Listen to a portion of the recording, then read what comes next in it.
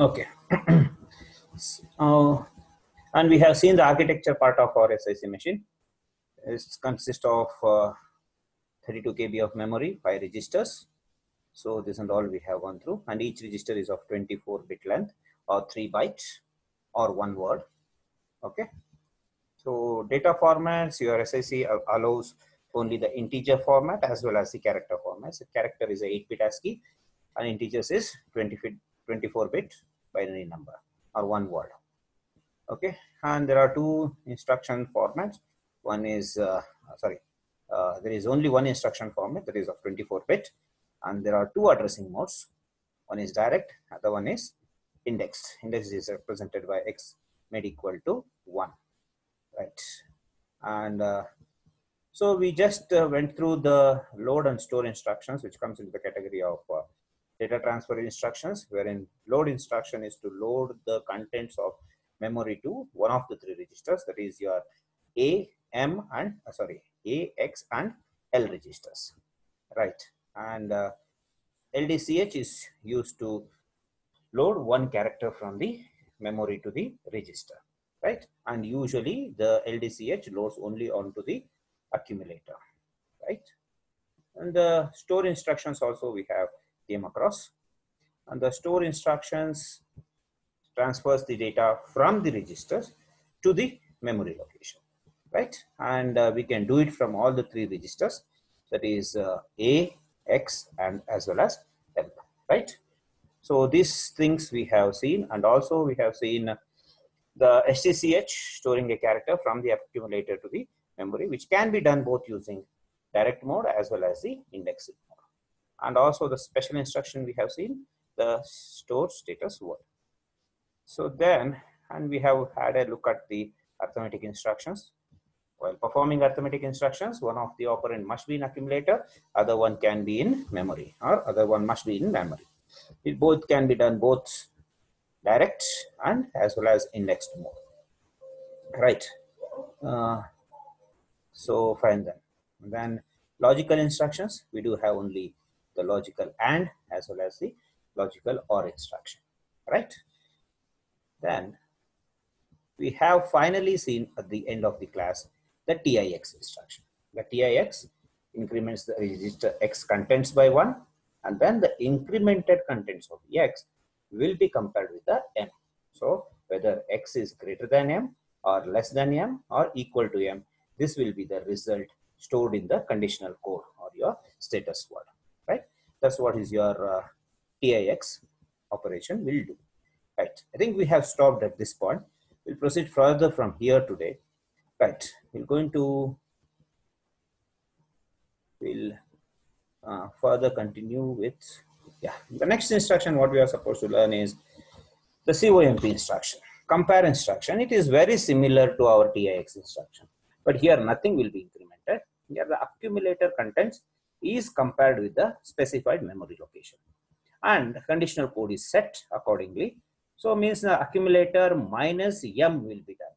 So if we get a positive result, accumulator is greater than M if we get a negative result, accumulator is less than m, or if we get the equal to result, then, or if we get the zero result, then accumulator is equal to your memory location. That's what is the compare instruction does. It sets the conditional code. And the next, suppose, the usually after the compare instruction, we may have the instruction something like a jump. Jump if equal to, jump if, if greater than, jump if less than. So these instructions will be executed based on the result in the conditional code. So that's what is the compare instruction does, compares the contents of accumulator with the memory, right? So these are the possibilities, just as I mentioned, if the status word is 0, 0, it is equal to, if it is 0, 1, accumulator is greater, if it is less than, then accumulator will go, means the status word will going to be 1, 0, right? This is, this also comes in the category of our logical instruction. Next set of instructions we're going to have a look at which are our branch instructions. There are two types of branch that are possible. One is unconditional branch. In unconditional branch, we don't check any condition. The branch happens without checking the condition.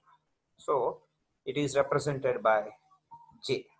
For example, and we can perform a backward jump as well as a forward jump. Means the instructions are written in a continuous manner. We can either jump to the instruction which is ahead of us or the instruction which is already previously present, right? So just see the example. We have a starting. So what is start? I'll tell you later. So when we deal with the assembler directive, we're going to talk about the start. Fine. And you can see at 2000, we have the start of the program, 2003.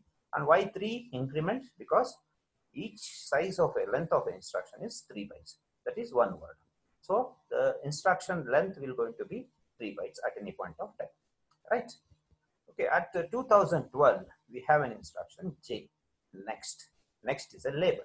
Label is some other address. Okay. So at next is now present at the address 3000 right? So it is an unconditional branch. So we don't need to bother about uh, checking any condition right? Once this execution this instruction gets executed we should go to the address next that is 3000 so what happens when you are executing the instruction present at 2012 contents of the program counter will be 2050 that is plus 3 the next instruction now what happens, effective address is calculated, something like this. Effective address is equal to 3, sorry, it is supposed to be 3000. Uh, 3000 minus 2012, whatever the answer we get, that will be the displacement. This next written here at 2012 will be replaced by that displacement, right? So the displacement will be added to the contents of your PC and the resulting effective address at that place we're going to be reaching. That means when the jump next happens, the PC will be loaded with the contents of 3000. Means PC will be loaded with the address 3000 so that the jump goes to the add instruction at 3000. Fine. That's an unconditional jump. Fine. We should also have a conditional branch. Right. The conditional branch should check a condition. So means to say previous instruction must be a so the instruction branches based on checking a condition. Conditional codes are set based on the execution of previous instruction. The result of the previous instruction. It will be either greater than, less than, or equal to. Right. So just an example. We the program is starting at uh, 2000, 2003, 2006, some other instructions we have. But at 2009, we have an instruction compare yum. So compare accumulator contents with the memory location which will set the conditional code either to greater or less or equal to. Now at 2012, we have an instruction jump equal, jump if equal, JEQ, jump if equal. What is equal? If the conditional code is equal, then jump to next. Next is a label, right? Next is at present at 3000, same as previous. Now, PC is containing 2015. CC conditional code if conditional code is 0 0 that means if the previous instructions execution has resulted a conditional code 0 0 then pc will be now replaced with now pc will be 2015 which will be replaced with 3000 so the branch happens to 3000 and the condition continues means and the, and the execution continues from 3000 this happens only if the condition code is 0 0 the same three more, two more conditions we may have. That is jump less than JLT, jump less than. Then if this conditional code is 10, then the PC will be loaded with 3000. Else PC will be same 2015. In similar fashion, we have jump JGT, jump if greater than. If the conditional code is 0 01, then the PC will be loaded with 3000. Else PC will be 2050, right? So this how the conditional branch instructions will be executed, right?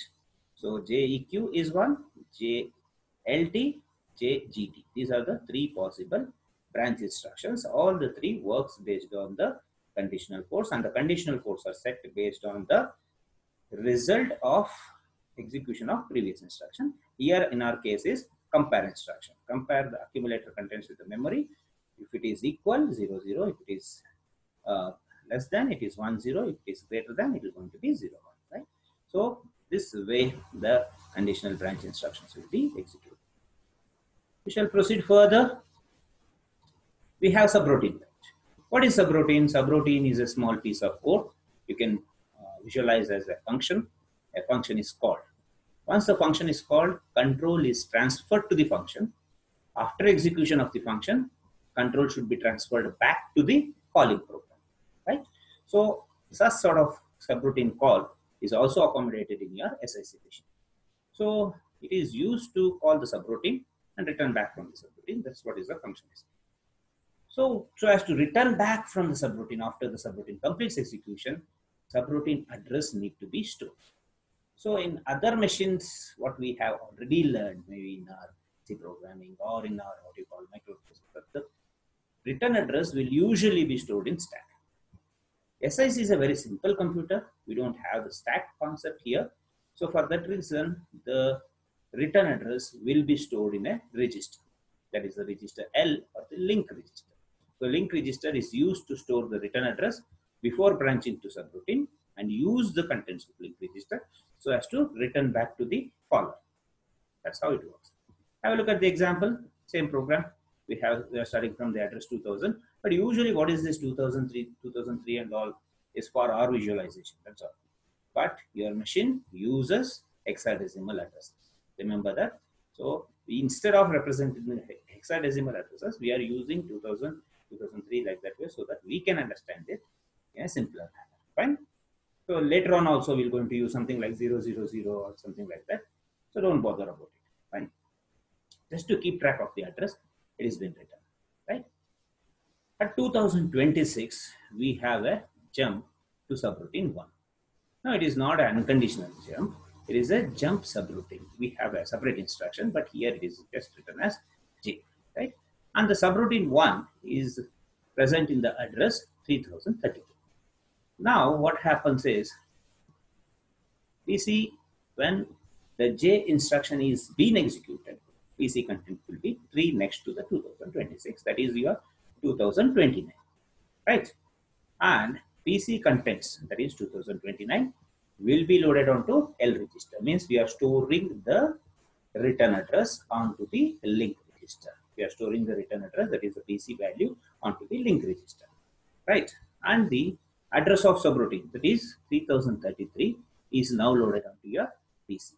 Means your program continues execution from 3030. Until when? Until there is a instruction called as return from subroutine RSUB instruction, it is found, then the reverse of this process will happen. What is the reverse of this process? The contents of L will be loaded back to PC. So the program continues execution from 2029. So this is how the call and return of the subroutine will happen. So using link register for subroutine uh, call and return is a simple mechanism looking at it, it is a simple mechanism. But this cannot call recursive functions or a function call within a function call because at the most only one return address can be stored onto your link register. More than one cannot be stored. That's the problem. So multiple subroutine calls or nested subroutine calls is not possible with SIC machine and it is not also needed for us because our intention is to build a simple assembler, loaders, linkers. That's what is the intention. So as many features as we need, we are only taking care of that. Not exactly we are building a production level assembler which can accommodate all these possibilities. Fine. So as a during the return, this is what happens. Contents of link register will be loaded back onto your PC. Fine. Okay. IO instructions. This is a mandatory. We can we may have many different input devices and output devices. So as to recognize the input and output devices, each devices, if at all we look at the Unix operating system, we have major device numbers and minor device numbers, which uni uniquely identifies the devices. But in our SIC machine, we have a mechanism of representing every device by a hexadecimal number, a 8-bit hexadecimal number. So, and the devices need also to be declared when you are declaring the variables and constants, all these things. Something like here, we are declaring an input device. I'm calling the device name as INDEV, in device. So which is declared as a byte. I'll talk about these declarations just next to it. Okay. And X there is indicating that it is an hexadecimal. And the name of the device, we are calling it by the name F5. The input device, we are naming it as F5. Fine. Okay. And similarly, output device, we are naming it by the name 08. Right. So this is uh, a notation that we use to identify the devices uniquely. If you are using the devices in your program, you are supposed to explicitly declare them in your program. We'll see that in the programming examples. So when you are using any input device or output device, you can either read from the device if it is an input device, you either write into device if it is an output device. So before these two operations, either of these two operations to perform, you are supposed to, uh, what do you call, test the device. The device, whether it is free or busy. If at all you remember in our computer organization, we have different types of IO controls, program controlled IO, memory mapped IO, like this. So the technique what we are using in this machine is program controlled IO, wherein program itself checks whether the device is busy or ready and it performs the operation when the device is ready. That's how the things are working. Here we are using program controlled IO your program need to continuously check. So the device is tested first and uh, based on the result of the testing of the device, your conditional code is set. If the conditional code is 00, which indicates the device is busy. If the conditional code is either 01 or 10, then the device is free. So you can perform a read or a write operation when the device is free. That's how the things works. Let's see the example. So there are two instructions RD, WD. RD for read device, WD for write device. Either read device or write device will transfer one byte or eight bits of contents to accumulator or from accumulator. It is a read, data is taken from the device and is placed into accumulator. If it is a write, data is taken from the accumulator and written onto the device. So these are the two instructions what we have. RD for read, WD for write. Okay, either of the case, 8 bits of data is getting transferred. Fine. Let's see further. This is how we should test the device. So we are checking whether uh, test device in device jump equal to input. If it is uh, equal, means if the conditional code is equal, we will go back to input. Means we will be repeating this until the device become free. So this is how we're going to be testing the device. And once if it is not equal, what is not equal? Conditional code is not equal. We will perform read device in device. At this time, one byte of data is getting transferred from the input device and will be placed onto your accumulator. Similarly, I do have an example of uh, write. We are just using a out loop, which is a uh, label wherein we are testing the device. If it is equal to, we are going back and repeating again and again until it becomes either 1, 0 or 0, 0, 1. So then we're going to perform a write operation, write device, out device. So this is about the input output instructions. This is the same even in the case of SICXE. Only we're going to see those instructions which are just different from SIC in SICX. There are some few additional instructions which only we're going to study during that time. So the entire set of instructions will remain because SIC is a upward compatible. Whatever the instructions works in SIC will also work in SICXE, but only those extra instructions of SICXE will not work in SIC. That's how the thing is. For example, SICXE provides you the register to register operation, but SIC doesn't provide you register to register operation. It only provides you the register to memory operations, right? Okay. We shall proceed further. Yeah. The next thing is called assembler directive. Still now, data transfer instructions we did, arithmetic instructions, uh, logical instructions, branch instructions, sub subroutine jump instructions. All these things we have seen. So these are instructions which perform some work which either performs a data transfer or calculations or control transfer. Either of these things, this one will go to perform. But now the next category, what we do have is assembler directives, which we can tell that they are not instructions. They are the guidance or the specification to the assembler itself regarding how the assembling of the program must be done. They, I can tell that it, they are called as side effect instructions. I, can, I cannot call that as instruction also. They are side effect things, which will going to inform your assembler about how to assemble the code. Have the guidance to your assembler. We have many such assembler directives, which we shall see one by one, and few of them we're going to see during our uh, SIC XE also, which are not needed in our SIC machine. Those things we're going to see them. The first assembler directive is start. We have used in the earlier examples also. The start indicates the start of the program. And how to write this start? This is the syntax what you should.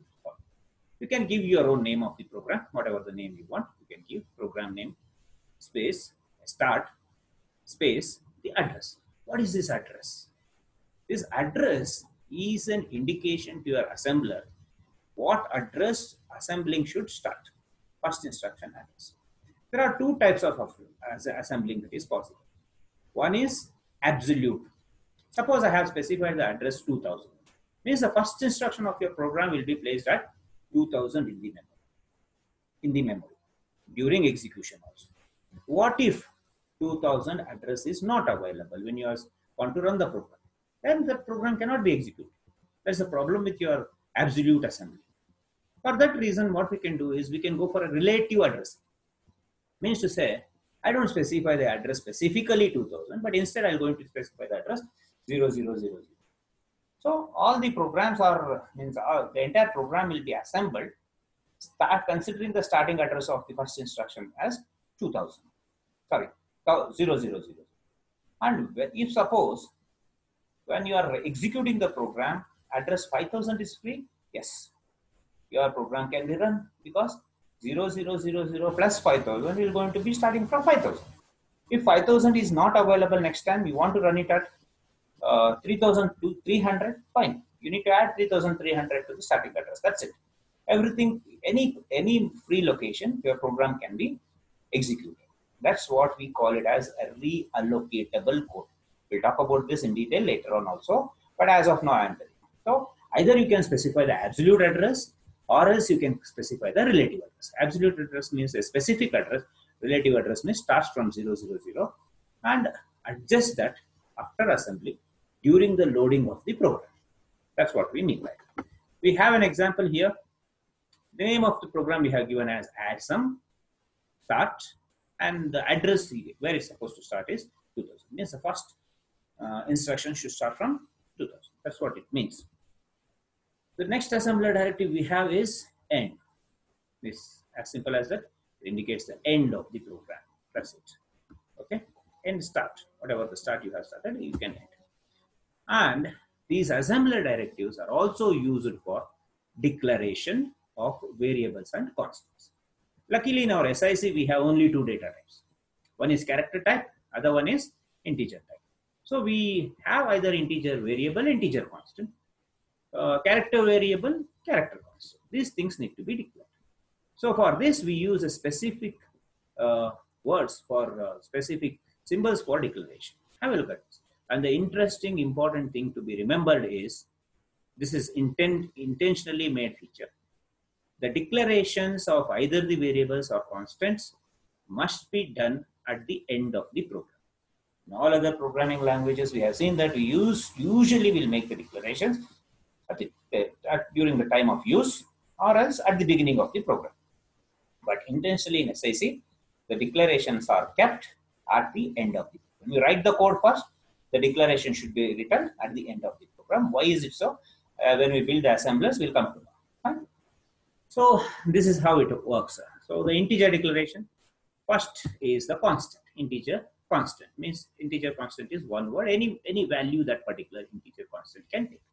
That is specified by using an assembler directive word W-O-R-D. Can you see that? I have highlighted that. That's the assembler directive. Fine. Word is used to declare the integer constant. And you can see that max word 10. What it means is max is the name of the constant. It is a co- integer constant. So word, the word word indicating that it is an integer constant. And right now, the value or the value of your constant max is a 10, which will not change, which will not change because it is a constant. Getting the idea? Okay. Similarly, 0 is a integer constant. The name ZERO is an integer constant whose value is 0. Right? This is how we can declare the integer constants. Right. One more, we have a integer constant name is ER whose value is 300. Right? So like this way you can declare any number of integer constants. The uh, assembler directive for declaring the integer constant is WORD. Fine. Similarly, integer variables is declared by using an assembler directive RESW. Reserve word. RESW. That is that means RE reserve word. RESW.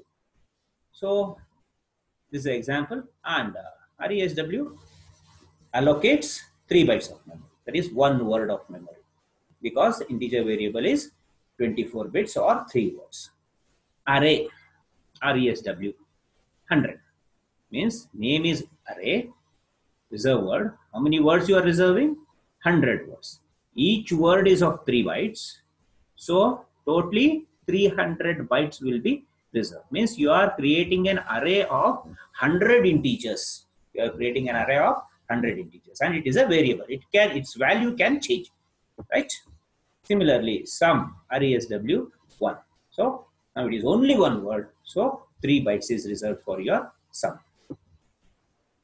Next we go for the character declaration. So as a quick integer constants are declared by assembler directive WORD and the integer variables are declared by using the assembler directive RESW is a word. Similarly, in the character declaration also, we have byte. Character variable is, sorry,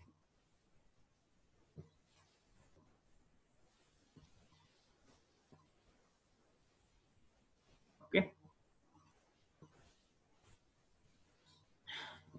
Yeah, uh, we are talking about the character constant declaration.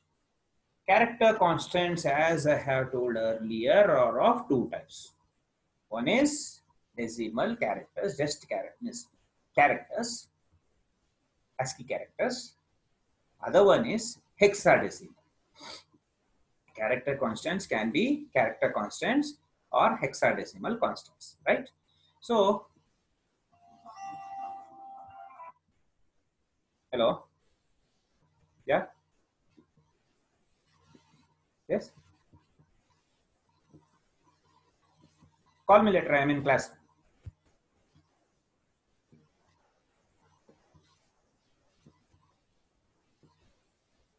Hello. Guys, sorry for the disturbance.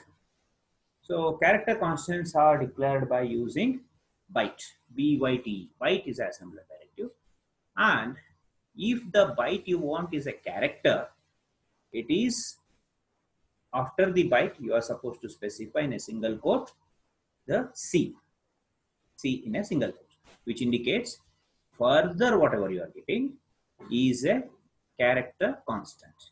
For example, here EOF byte. How many bytes? End of file. That entire string is a constant. 3, 4, 5, 6, 7, 8, 9, 10. 10 characters together is your character constant, right?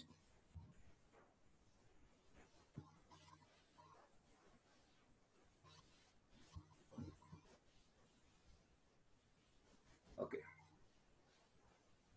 And uh, we have seen this in device earlier. We have declared the uh, device earlier in the previous slide in the RD and WD instructions. In device, byte, X, and uh, FY. Uh, and I can see some uh, doubts being uh, asked in the chat. So somebody has asked that one one, if it is conditional code is one one, what happens? That conditional code itself is not. Means see, please try to understand. It's not a real machine. it's a hypothetical mission. I am just explaining you the how what are the rules for playing the game. We should play accordingly. That's it. It's not a real machine to test how what happens. If it is 8086, we can test what happens. But this is an SIC machine. This is a reference machine for us to learn the machine dependent features of the assemblers, loaders, linkers. That's the thing. Please keep in mind. Uh, it's, uh, it's a totally a hypothetical machine. So what is the information we have? We need to play the game accordingly. Fine. So hexadecimal constant we can declare by having an x in a single quotes. And here in device is a character constant because byte is the assembler directly used. X is a hexadecimal indication and F5 is the name of the device. Got the idea? Fine then. Next, when we want to declare a character variable, we use assembler directive RESB, reserve byte. So for example, here we are declaring a string 100 bytes, RESB 100, 100 bytes. You have a character string or a string of 100 bytes. Okay. Now we shall see some programs. We have hardly some 10 15 minutes. Some few programs we're going to see. The first program is a simple one data from uh, 5 to alpha and transfer a character from CHZ to C1. Please observe here. I'll uh, show you the entire program. You can see from 5 word alpha, RESW, CHZ, all these things are the declarations. As I mentioned in SIC and SICXE program, the declaration will come after. The program comes first. Okay, let's see that transfer start as I have not mentioned any address. We're going to start assembly starting from 000. Load accumulator with the 5. What is there in the 5? 5 is a word. Word means it's a integer constant, right? Integer constant. And its value right now is 25. Means 25 value, that is integer constant 5, need to be put into accumulator. Yes, that's what happens. And store accumulator, that is 25 is accumulator content, is now stored into alpha. What is alpha? Alpha is declared as RESW. That is reserve word. Means it's a variable. Alpha is a variable, 5 is a constant. The constant value 5 is loaded onto accumulator and using STL uh, uh, instruction, we are storing it onto alpha, right? Next instruction is LDCH, load character. From where? CHZ. What is CHZ? CHZ is declared as a byte. That means character constant. What is the value of CHZ? One character Z, right? Don't, no need to be one character. It can be any number of characters, which if it is more number of characters, we would have stored that one. Same thing, same thing. STCH, STCH is a store character. It is stored into C1. C1 is a RESB, that is a character variable. Getting the idea? Word is character integer constant, RESW is integer variable. Why it is a character constant, RESB is a character variable. Fine.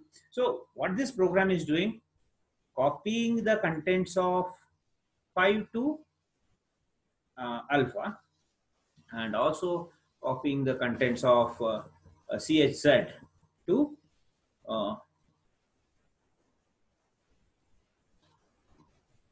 CSZ to C.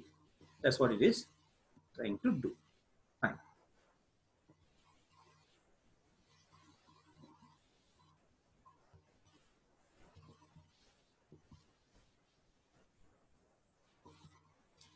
Fine. Let's move on to the next program, SIC program. Uh, this program is to transfer the contents of one string to the other. Quick, have a look at this. Ah, we'll see the entire program. Here we are declaring a string one as a constant whose uh, value is a system software, right? And we are declaring string two as a string variable or a character variable. And we have a count 15 because system software count is 15 and z is 0. We are loading the z, that is 0 value onto x. I cannot uh, load the 0 directly onto x. Why? I'll tell you later. And we are taking the LDCH str1 comma x. What is in x now? That is 0. That is first character of string 1 is taken and stch in str2 of x. That is str2 of 0. We are copying this uh, s from the system software onto uh, string 2, right? After that, TIX instruction. I told you X will be incremented. Yes, X will be incremented. Now X is 1 and is compared with the count. Count is how much? 50. It's not uh, equal or not greater, it is less than. So we are using if j less than, go back to loop. Now x has become 1 and uh, str of 1 is copied to str1 of 1 will be copied to str2 of 1. Similarly, all the 25 characters, sorry, all the 15 characters will be copied from str1 to str. There are some more uh, examples there, right? This is a program to read 10 bytes of data from input device and store it in a string. Same, we are uh, taking uh, Z. Z is uh, now how much? Yeah, Z is 0. And uh, we are testing the input device. If it is equal, we go back and test it again, keep on repeating it. And we'll read the device, in device means we'll transfers one byte. And we store that one byte which is in the accumulator to the str1 of x, str1 of 0 and uh, we again use TIX to increment the X content and compare it with the count. Count here is 10 because we are supposed to read 10 bytes. Fine. This is how we are uh, writing the Hex program. The drawback of SIC program, if you look at, we don't have any immediate addressing mode. So this is the end of SIC architecture and the programming examples. Okay. So we'll be stopping it here. Mm, and uh, uh, we're going to be stopping the class here. Next class, we're going to see the SIC XE architecture and uh, then we'll continue with the assemblers in the same class. Fine. Thank you. Thank you for joining.